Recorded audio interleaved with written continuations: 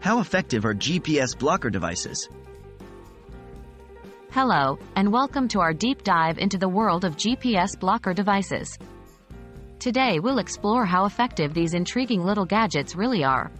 You've probably heard of them and might have wondered, how do they work and are they truly efficient at blocking GPS signals?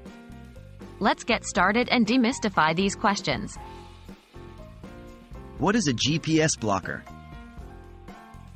A GPS blocker, also known as a GPS jammer, is a device designed to interfere with the GPS system's functionality. These devices emit signals that interfere with the GPS radio frequencies, rendering GPS receivers within the affected area incapable of picking up signals from GPS satellites. The result? The GPS system is unable to determine its location. How effective are GPS blockers?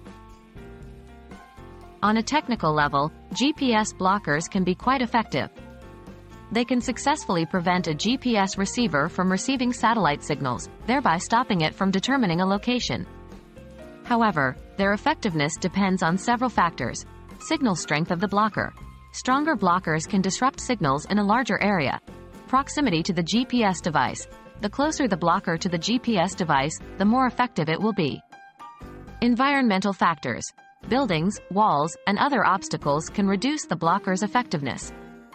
Therefore, while a GPS blocker can indeed prevent a GPS device from functioning, its success rate can vary based on these factors. Are GPS blockers legal? It's crucial to note that using a GPS blocker is illegal in many jurisdictions, including the United States.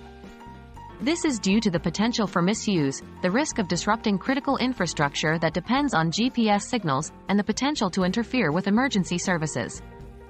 Therefore, while technically effective, their use is strongly discouraged and can lead to severe penalties. So, there you have it. GPS blockers can indeed be effective at disrupting GPS signals, but their efficiency varies depending on various factors. However, the most crucial point to remember is that their usage is illegal in many places, making their use not only unethical but potentially leading to legal troubles. We hope this video has helped shed light on GPS blockers and their efficiency. Stay tuned for more interesting insights on other tech topics.